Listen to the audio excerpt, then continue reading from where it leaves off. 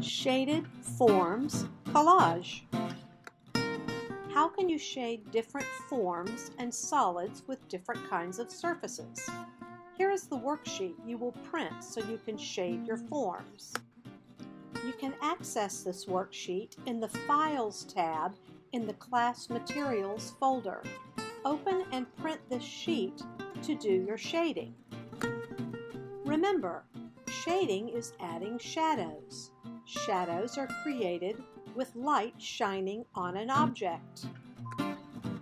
These red arrows show from which direction the light is shining. The shadow's edges are determined by the object that you are drawing.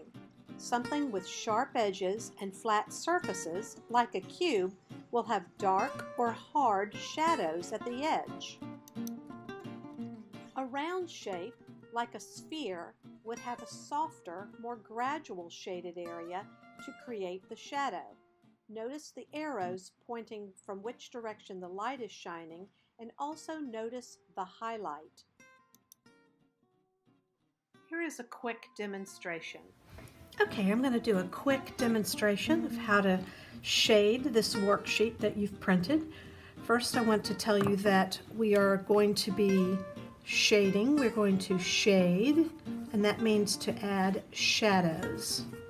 And one thing you must have uh, when you want to make shadows, or if you see shadows, you have to have light. So I've made this picture of a spotlight right here, and I'm going to position mine over here on this side to remind me that this is where I want my light to shine from. Now you might want your light to shine from this direction and if you do, your dark shadows will be on the left side and your highlights, and I should write that word down for you, the highlights would be on the side that would get the exposure from the light. But I actually prefer mine over here, just out of habit. So first I'm going to uh, tell you that when you shade curved objects, it's going to be different than those with flat sides. So we have a circle, or excuse me, a sphere, which is the form of a circle. Here we have a cone, which would be the form for a triangle. Here's another form for a triangle, but I only want to talk about these two right here and this cylinder. The reason I want to talk about these first is these will be shaded differently and the shadow would be gradual. So if you look, let's start with the sphere. So the light is shining down and I'm going to use my pencil moving from side to side making the shadow. Do you see how I created a curve with my shadow? Now what you don't realize is by creating this curve, making my shading from side to side, what I'm doing is I'm creating the illusion that this is round like a ball. So now I'm going to make some darker shadows over here to the side. There you go. See that darker over here? So we've got our darkest shadows over here on the side, way over here on the right side, and our medium shadow here, and now I'm going to make a very light shadow. There, done with that. You can see that this is the area that's receiving the highlights. That's an important thing to remember. Now if you go outside the lines, you can always go back with your eraser and clean it up. However, you really don't need to worry too much about it because you're going to cut all of these shapes out in just a few minutes when you're done shading. So I'm going to go over here and do the cone again next. And this is also a, a curved shape form. So watch this. See how I made that kind of curve there? You can see that I've created a line here with the shadow.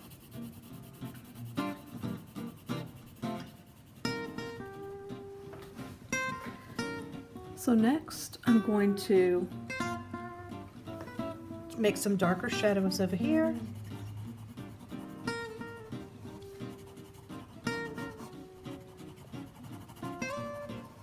Because the light is shining onto the cone from this direction. So there, my cone is pretty much finished. And now we're going to go down to do the cylinder. And the light is hitting the top of the cylinder. And so I'm not going to shade that at all. I'm only going to do my shadow on the right side here, and it's going to get gradually lighter as it goes on the left side because the light is shining down on the left side. So I'm going to shadow. Notice that I'm using my pencil and making these these lines, the shading from left to right, that's important. If you start going up and down, you're not going to get the desired outcome. It's going to be much more effective, look better, however you want to describe it, by making the lines from side to side. So I've got my darkest shadow over here on the right side where hardly any light is hitting the cylinder. Got a medium shadow here, and maybe I'll make a light shadow right here so it's kind of blended. So I basically have a light, medium, and dark shadow. So I've done my three sh uh, shapes or forms that have uh, curves, and now I'm going to uh, talk about these four. So I'll go ahead and start with the cube first. Now I'll start with the with the shape here, and the full light is hitting this side, so it's going to be very light. So really, you're only going to be shading this side. This is where the shadow is, right here. This is the back side of that shape calling it a shape, we need to remember that shapes are two-dimensional, forms are three-dimensional. These are forms. And they're very geometric as well. All right, now I did make that one kind of dark, so I think I will shade this in just the lightest amount. Just very, very light. There you go, I'm happy with that. So now I'm going to come over here and I'm going to, if I had to number of the shadows on this form, I would say I would go one, two, three in darkness. So this would be the lightest shadow. This one is getting hit with the light, but not as much as the top, so this would have a medium.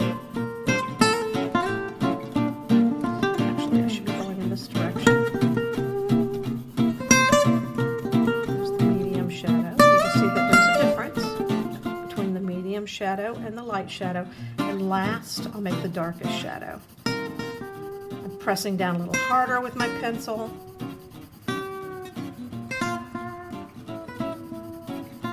There you go. I would, now I'm going to look at this one here, which is exactly the same as the cube, it's just taller. We've got our full light here, which would get the lightest shadow. Medium shadow here, notice I'm going up and down this time. Breaking my own rules.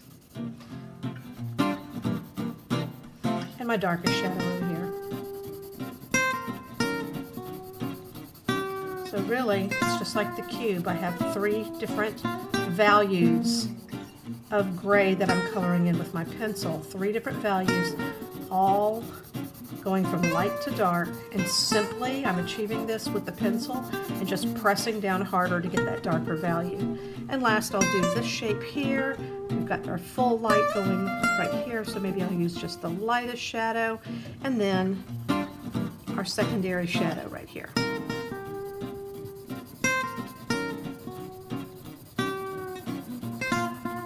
All right, so now that you are, have, I've shaded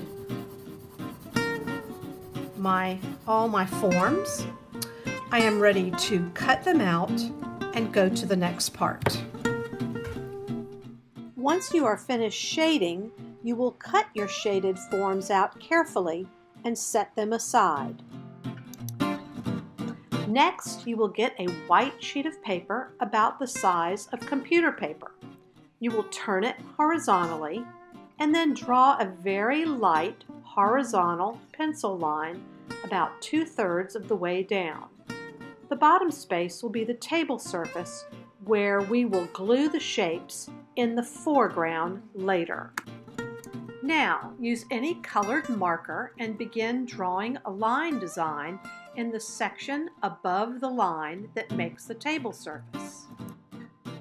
If you don't have markers, use anything that you have at home, like crayons or colored pencils. When you're finished decorating the background, glue the previously cut shaded forms by arranging them in a manner consistent with the light source and taking care of the positions of the forms on the foreground surface. Once your forms are arranged and glued down, you may go back and add cast shadows on the tabletop. Here are shaded form collages by students just like you.